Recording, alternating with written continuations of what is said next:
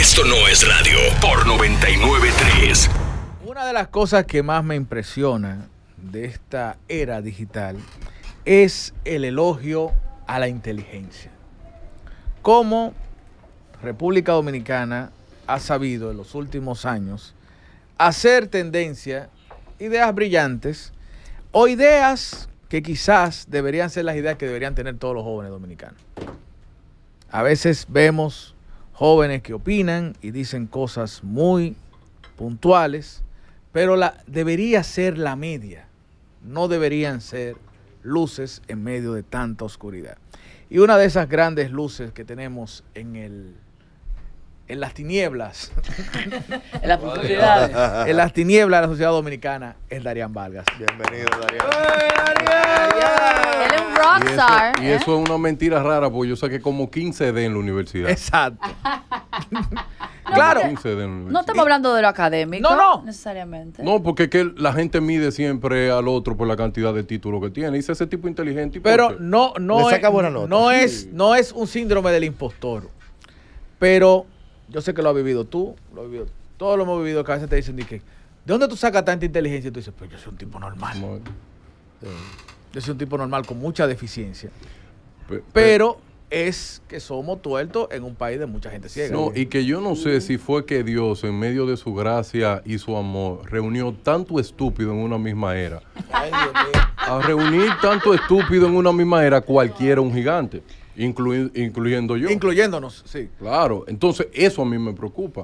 Porque cualquiera puede salir y dice, ah, un teórico. Como me dicen, ah, este tipo es un teórico. Ah, está bien, yo soy un teórico, pero yo tengo una patente mundial, búscala y lógrala tú. Sí. ¿Tú me entiendes? En ese sentido. Ah, porque- tú. porque Al hay que, paquete. hay, que, hay que tener ese balance. Pero al final del día tú tienes una generación que no lee, que no ve ni siquiera documentales y se escucha a cualquier otra persona diciendo palabras rápidas como lo digo yo, dice, ah, pero este tipo es lo máximo. ¿qué es lo Darían, máximo? leen tampoco que tú pones obra de teatro el 27 de noviembre. ¿Cuándo es la fecha? obra? ¿A dónde se presenta? Y tú la pusiste en el pie de la foto. Y la gente no la lee. Sí, pero no quiero leerlo, dímelo tú. ¿Cuándo es? Ah, te digo la verdad. Así yo como que aquí en Punta Cana. ¿A dónde? Ajá. Qué lindo Una ese lugar. galleta. coño, Entonces, por ejemplo, se daba un llaman a tu caso. casa. Tú estás en tu casa.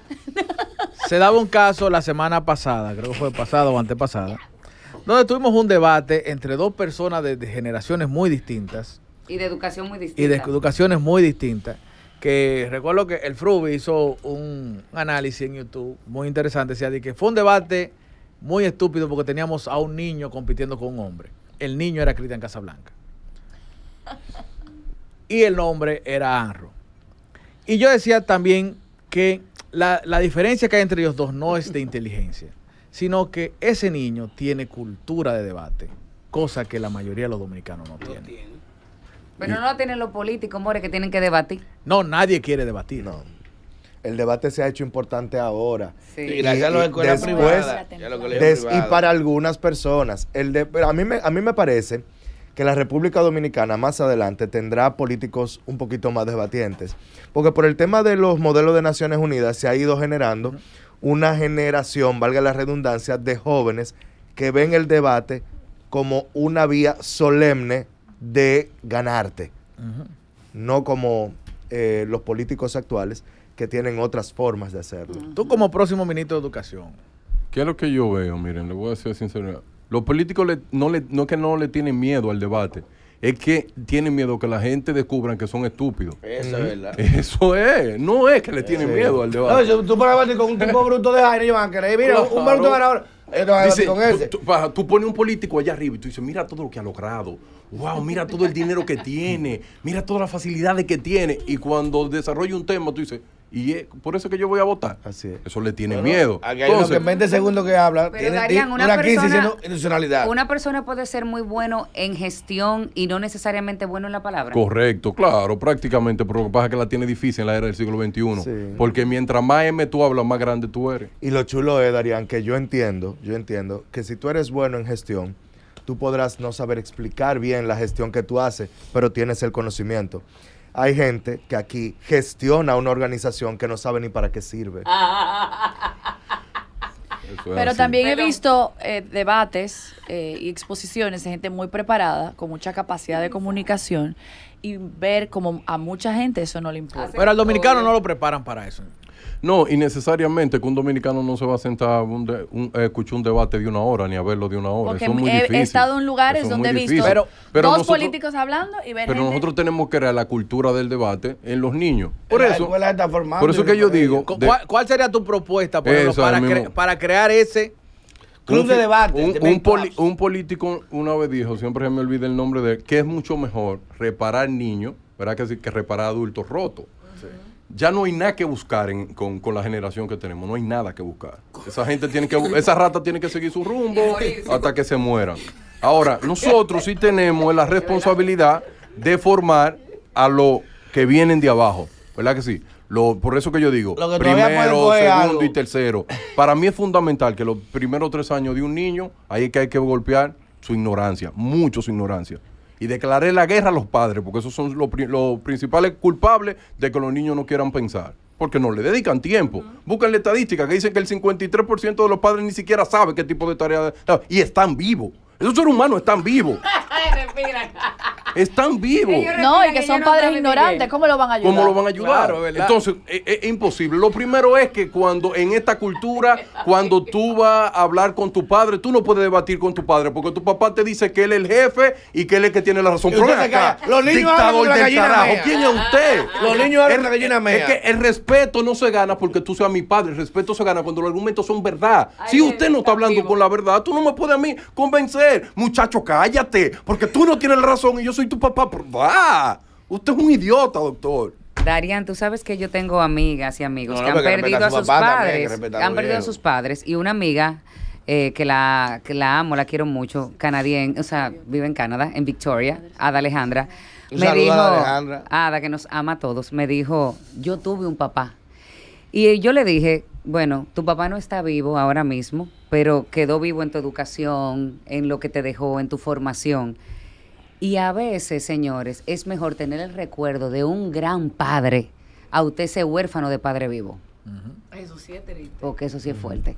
Usted tiene una gente ahí, como dice Darían, que respire, que esté vivo y que al final no te esté sembrando nada y que no esté contigo y que no te acompañe. Pero tener el recuerdo de un gran padre, aunque no esté físicamente, eso es lo mejor. Pero el reto para ustedes que quieren eh, cambiar una generación es fuerte porque es cambiarle el chip a un niño viviendo dentro de una casa de una persona que no está entendiendo lo que quieren hacer con él. O sea, eh, hablarle de, de- de otro universo y tener otros intereses y hasta otro propósito en la vida, ah, con un papá que le va a decir, no, tú no puedes hacer eso porque eso no deja cuarto. No, tú no puedes hacer eso porque, que- o sea, es fuerte. O por ejemplo, eh, eh, por ejemplo, en las situaciones en las que realmente no hay ni siquiera un papá o no, o no hay ni siquiera un papá o no hay una mamá que les diga absolutamente nada. Aquí cuántos niños no se están criando solos, no El están simplemente ni siquiera criándose, sobreviviendo. Sí. Entonces, no, ni siquiera hablemos de tarea, o sea, realmente eh, eh, inteligencia emocional, vivir, eh, tener cualquier conversación, comprender cualquier cosa, o sea, cómo uno logra en este país, muchas veces eh, uno ve a su alrededor y uno dice, esto no tiene salida, ¿cómo esto se va a arreglar? Porque es una situación que venimos, es como, como yo le digo, la maldita herencia que venimos desde hace años, porque es una situación de sistema. Yo creo que es sistemático lo que está sucediendo, que no es que, que este, eh, este partido o este político, lo que no, es una situación sistemática. ¿Cómo tú le cambias a esos niños que no pueden tener esa formación, que no pueden tener ese padre del que hablaba, del que hablaba Joni, y que quizás muchos de nosotros tuvimos, o esa madre, como a un niño que no se le ve ninguna salida, no le está viendo salida a la vida, ¿cómo tú le cambias el chip? ¿Cómo tú lo vas a lograr? ¿Cuál es tu propuesta? Daría 7 de enero, ministro de Educación. Para que sepa. Miren eso, yo lo digo. Yo aspiro a una escuela que tenga este sistema. Una escuela que tú entras a las 8 de la mañana y una escuela que tú salgas a las 5 de la tarde. Pero la escuela tradicional va a terminar aproximadamente a las 3 de la tarde. El niño hay que evaluarlo. Lo primero es que los padres tienen que estar involucrados en la educación de sus hijos. Imagínate que ese, ese padre no está.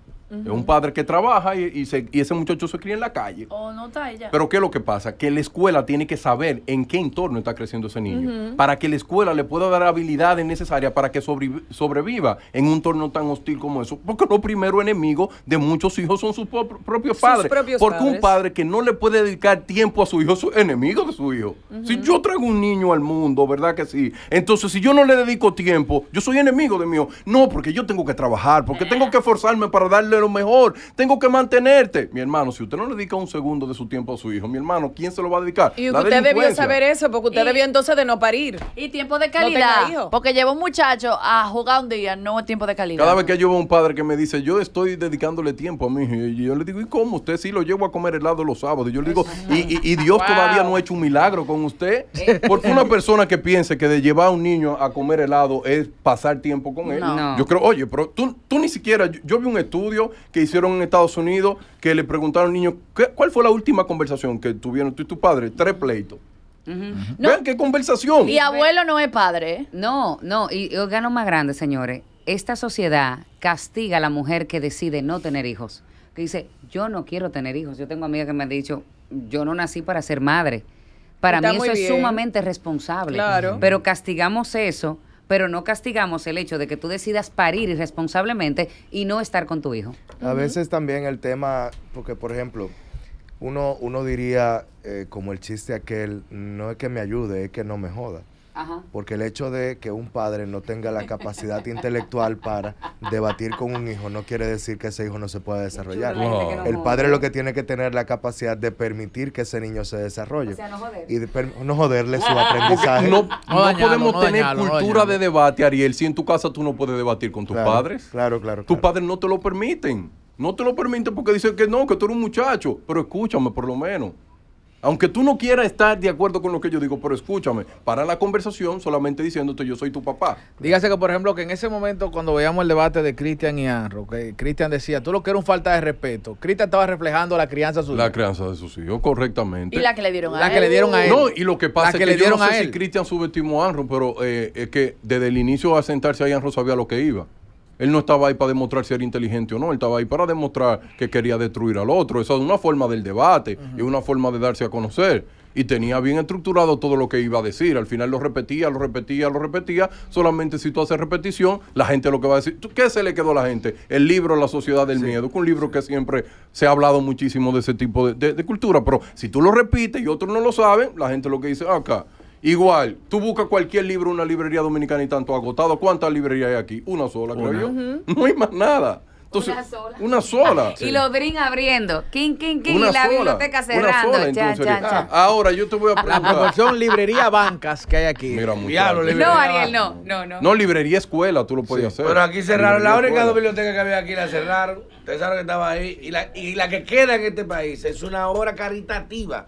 De- de- Se le de- pedimos- Esa es la fundación de esa empresa. Es una pérdida que tienen esa gente, lo hacen Es- por tradición. es una amor, fundación. ponte el micrófono, por favor. Te gusta con el micrófono ahí, ¿eh? Darían, eh, es un país que pasó por alto, digo yo, no sé cuál es el compromiso allá en educación, donde unos libros salieron con errores y aquí han pasado eso por alto. Diablo. Y tú, aspirante, igual que todos nosotros, a- al crecimiento, al conocimiento, ¿qué te pareció esa chambra que el Estado soltó como si nada pasado? Esos son personas enemigos del Estado. Quien hace libro, quien hace cualquier acción que no colabore con la educación dominicana son enemigos de la patria. Yo siempre he dicho que un papá que no mande un hijo a la escuela es enemigo de la patria. Deberían de buscarlo preso. Hay como mucho- Claro que sí. claro. Entonces, el funcionario, el funcionario que trabaja en educación tendría que ser el ser humano que tenga más peso. Cuando vaya a dormir, tiene que tener miedo. Porque una persona que esté trabajando en educación sabe que está colaborando para que la patria sea mucho mejor. O peor. Pero al final, yo lo que me pregunto, ¿el problema son los libros de texto? ¿El problema son lo que colocan ahí? El problema no es. El problema es que tenemos unos estudiantes que no están apasionados y unos profesores que no están apasionados tampoco, porque están llenos de problemas y con problemas no- tú no vas a resolver nada. Y la otra, que una de las cosas que yo siempre digo, automáticamente yo sea ministro y no se queme el 10%, me voy de ahí. Porque, ¿cómo es posible que yo sea brillante, haga todas mis tareas y viene un tipo que nunca hace nada, siempre hace chiste y él pasa igualito que yo? Pero ven acá, ¿qué tipo de motivación yo tengo? Yo no tengo motivación. Se llama socialismo. Siempre haciendo chistes y cuentos ahí, nada. Y él lo ve pasando igual que él. Se llama Nosotros socia- tenemos que tener socialismo, se llama un ejemplo. Entonces, hay que quemar gente. Hay que quemar gente. El 10% Claro. tiene que quemarse. Y que mínimo. repitan Claro, su curso. Claro, ¿Por 20 qué no mil se veces queman? tienen que repetirlo. Y por ¿Por eso- qué no se queman? Precisamente no se queman porque al profesor, al ministro, al director distrital lo miden en base a cuánta gente pasaron. Ah, pues lo Y vamos si a medir el por la tiene- cantidad que se quema. Exactamente. Entonces, si él dice, pero a mí me van a medir por la cantidad de gente, yo soy bueno si pasan todos y se quema el 20%. No, pero déjame No, yo pasarlo. Señores, mire, yo le voy a contar una experiencia que yo tuve. Mi mamá hizo que me bajaran de curso una vez. Ella dijo, ella no está preparada para estar. Y yo decía, pero ¿por qué tú me haces eso? Me dijo, usted no está preparada para estar en tal curso. Ella hizo que me bajaran un curso. Y yo lo vi como algo terrible, pero era que ella estaba observando. Yo dije, Que tú no estabas preparada para estar en ese, en ese y yo brote. decía, pero ¿por qué mi mamá tigueraje". es tan cruel? Pero porque antes eso se podía y ahora no. Por ejemplo, observo que hay muchos niños, si, si corresponden a estar en segundo o en tercero, y este es el conocimiento que deben tener, aún si que el niño tener ese conocimiento, lo pasan, Así porque es. lo tienen que pasar, ¿por qué lo tienen que pasar? O sea, por ejemplo, un niño que esté en cuarto grado, amor, ya no, tiene no, que no. leer y escribir perfectamente bien. Después de completivo ¿Por extraordinario. qué pasa si no, lo, si no sabe? ¿Por qué? Lo tienen que pasar porque esa es la única forma de demostrar que la educación avanza. Claro, pero antes no. Pero antes no, antes se repetía. Antes se repetía. ¿Por Sí. qué cambiaron Y una, eso? una pregunta, Darían. En un, vamos a suponer, Darían Vargas, ministro de Educación. ¿Dónde queda el método Montessori?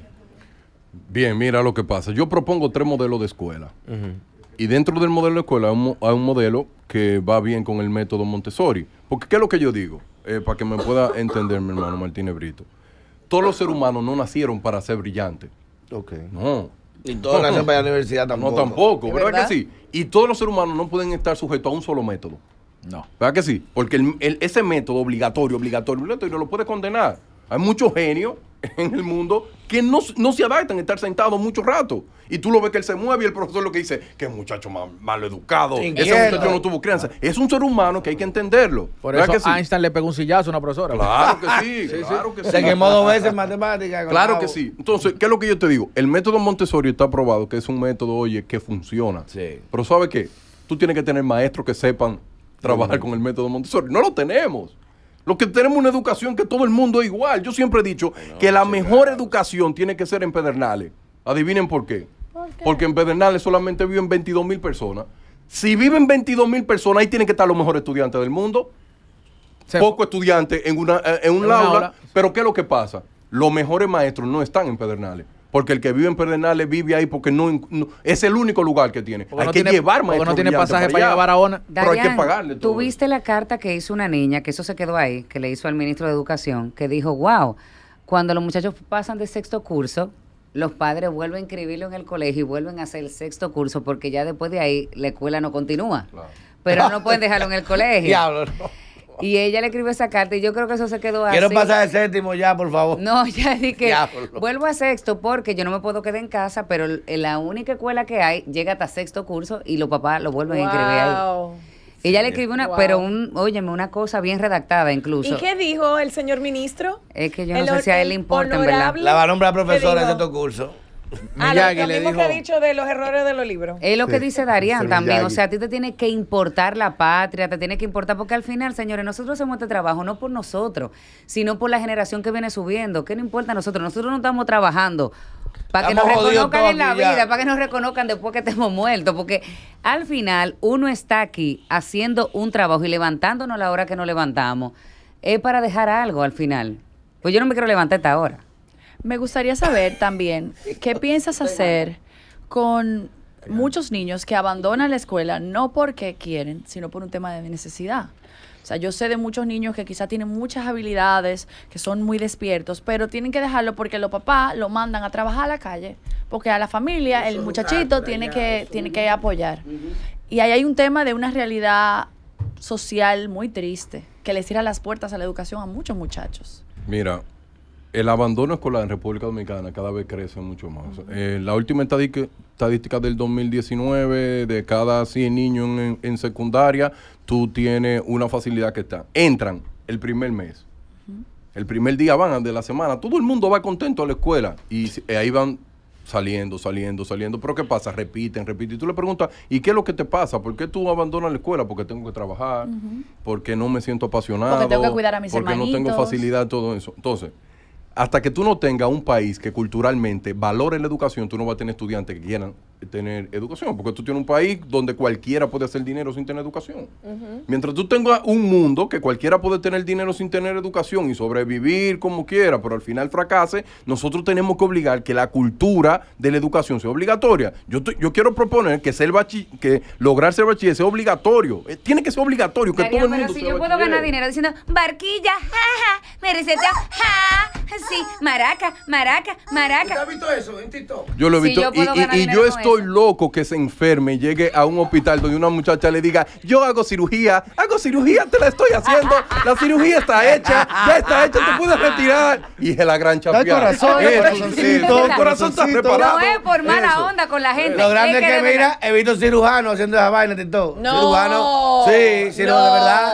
Él sale con. Mira, Casal. Búscalo. Claro, sí, taco, como maíz, mm, mazorca, mazorca. Cirujano. Con la bata ¿Y puesta. quién se opera con eso? No, yo quisiera ver. Yo veo con ese, le entrego el celular en la cara, pero usted está loco. Pero Creo que una de las cosas, Gaby, que yo te voy a decir, Gaby, mira, eh, yo siempre estoy apostando a que todo el mundo tenga las mismas facilidades de educación. Que si tú eres de Piantini, si tú eres de Herrera, si tú eres de cualquier parte del mundo, tú accedes a la misma cantidad de educación. Eso es lo que yo apuesto. Darían, eh, ¿en algún momento te ha dado temor exponer o hablar cosas impopulares y recibir el odio de la gente? Bueno, como yo salgo a dar ch- como yo salgo a dar muchas charlas los viernes y los sábados, porque eso es lo que más me gusta dar conferencias, me invitaron a San Pedro a dar una conferencia, yo llego al parque y me ve un señor y me dice el señor, ¿y usted anda solo? Y yo, "Pero, ¿quién soy yo? pa? Acompañado. Y me dice, y un hombre que vive hablando tantas ¿A dónde tú cosas de transformaciones, sí, de transformaciones. Y, y entonces usted considera que usted tiene que andar solo. Y yo sí, yo tengo que andar solo, yo no le tengo miedo. Yo lo que hablo es de educación. Y me dice él, pero ese es el temor. Es que usted está despertando a personas que lo único que han hecho en su vida es morirse. Ay. Y entonces yo no tengo miedo. Ningún tipo de miedo. La si finalmente, si Abinadel fuese malo corita como era Balaguer, Sí. porque tú en un gobierno Balaguer ya tú fueras ministro de Claro, venga usted que usted está opinando, ¿es verdad? ¿Tú estarías preparado para que Abinadel haga eso ahora mismo? De, un- de una vez, porque el Ministerio de Educación lo que pasa es que va a haber un problema. Es que, ¿por qué tiene que ser independiente? Porque la mayor cantidad de personas que están nombradas en gobierno están en educación. Conmigo no va a estar nadie. Porque yo digo que una persona que gane 50 mil pesos en educación y no esté aportando la educación debería él mismo matarse. Porque el enemigo también de la patria. Porque ese dinero se necesita con una persona. Mira, se habla de educación inclusiva. Todo el mundo habla de educación inclusiva y todo el mundo lo amamos. Pero en la práctica no es así. en la práctica tus hijos no tienen un- una puta idea de tener empatía. No tienen empatía porque no lo entienden. No lo entienden porque la educación dominicana no le ha creado nunca la empatía a los estudiantes de que ellos son normales. Todo el mundo estuviera hoy fajado discutiendo de que eso vale. No, un tema de ola, un tema de que yo soy inclusivo, un tema que yo lo apoyo a todo el mundo. Pero en la práctica somos unos hipócritas. Publicidad, publicidad, amores. Hipócrita. Y por eso la escuela hay que transformarla con todo eso. Que me den la oportunidad para que tú veas lo que pasa, que es difícil. El 4% del Producto Interno Bruto. Son Ariel. 257 mil millones de pesos. Mi ley dijo que la va a quitar en Argentina. El no, porque recu- recuerda que mi ley primero... porque eso es adoctrinamiento. Claro, pero, Cuidado que tú hablas, sí, que pero recuerda que mi, mi ley no es un estúpido. Mi ley, mi ley es producto de lo que la gente decía y él tiene que repetirlo. Mi ley, usted lo han visto voceando, mi ley, de nuevo. Mi ley está tranquilo. Ya. Va a tomar alguna medida, pero mi ley no va a ser tan radical como la gente entiende. Mi ley no es un loco. No es un loco. Mi ley va a salir de ahí como un superhéroe. Ustedes lo verán. Miren, ahora que Ariel mencionó a Balaguer, que precisamente cada vez que alguien eh, criticaba una posición, un Sí. puesto, un ministro, un ministerio, le decía, pues usted lo Halo puede tú hacer el mejor, paquete". venga, venga para acá. Mire, Balaguer es un ente digno de estudiarse, no para admirarse, pero sí para estudiarse, porque el verdadero líder de este país ha sido Balaguer. Para entenderse. No ha sido Juan Bosch, lamentablemente, que puede ser mi favorito, no ha sido Peña Gómez, no, Balaguer. Mi profesor me dice, yo soy balaguerólogo, no lo admiro, pero hay que estudiarlo. Porque aquí todavía se sigue haciendo lo que diga Balaguer. Yo le hago un mensaje, oye, un eso lo mensaje, hizo- Eso lo hizo Balaguer. un mensaje final a todas las personas. Miren, si usted sigue un político, un influencer, lo que usted quiere, un pelotero, un artista, a todo el mundo, yo, yo lo que quiero es que usted le, le dedique tiempo a estudiar a la gente que tú admiras. Porque dependiendo tu capacidad mental es que tú admiras a alguna persona. Es muy posible que tu ídolo sea una chatarra. Es muy posible que tu ídolo no sirva para nada. Pero tú le dedicas mucho tiempo porque tu cerebro solamente te llega hasta ahí. Claro. Y eso es lo que pasa en el siglo XXI. Cualquiera te puede impresionar, cualquiera puede colocar alguna palabra y decir, ah, mira este tipo igual. Yo, yo siempre he dicho que en mi lápida ponga aquí murió la basura más grande. Yo soy feliz como soy. Y al final del día, yo lo que quiero es que siéntate en tu casa, anote una mascota y pregúntate si tú estás vivo para vivir o estás vivo para morirte. Porque al final del día, lo que necesitamos dominicanos, que dejen de ser lambones y que se pongan para lo suyo. Ariel, Cristóbal Colón descubrió América en el año. Me reseteo. Hagan eso, por lo menos.